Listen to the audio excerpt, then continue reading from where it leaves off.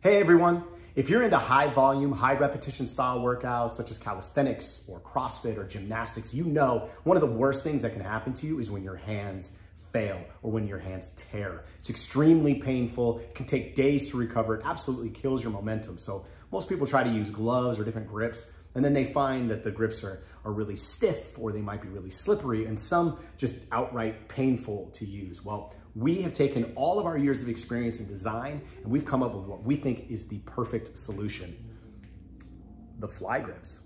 And as you can see, I've got a pair on and I know the market is absolutely flooded with tons of different types of grips. So you're probably having a hard time figuring out which one should I try. So I wanna explain what makes ours a little different. So first things first, these are 100% vegan. So if you're at all sensitive to that, we've got you covered. And if you've ever worked with an animal hide, some parts of it are very inconsistent. So some parts might be very soft and flexible, while other parts are gonna be stiff and hard. Not with these. These are gonna be very, very consistent all the way through. So also look at this material. This is an extremely soft felt. That's what's gonna be on your hand. And this is a very, very grippy composite material. So this is gonna stick like glue on the bar. Absolutely perfect for any muscle ups or pull ups that you're gonna do.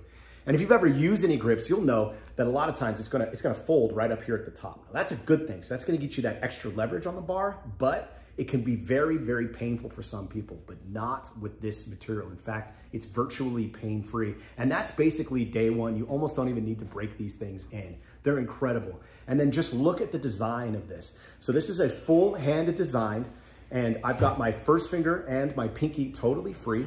So that gives me much, much more range of motion. So I can go straight from the pull-up bar right into the front rack with a barbell, and I can go all the way back without having to flip them on and off. A lot of times with a three finger, you can only go back so far. So one minor change we made was in the strap. So this is a one and a half inch wide strap. Most other grips are gonna be one inch. So this is gonna get you a lot more surface area so they don't fail fly grips. I highly, highly recommend you give these a shot. Extremely comfortable, extremely flexible. They're gonna last you a long time. I think you should definitely give them a shot.